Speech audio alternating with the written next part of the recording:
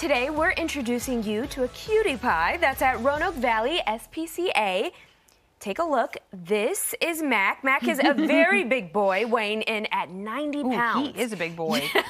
He's a very big boy. The staff at Roanoke Valley SPCA say Mack is very sweet and active. So if you're an active family, this little guy might be the one for you. Mack can be a little timid at times, but once you get to know him, you will be his best friend. He is so sweet. Look yeah, at him. I saw how he bumped the camera. I know, right? Super He's excited. so excited. Aw. And if you're interested in meeting Mack, head over to rvspca.org. Now would be a good time because you can get the dogs outside. Kids are going to be home for the summer. They could bond with the dog. So maybe Mack is not for you, but you know,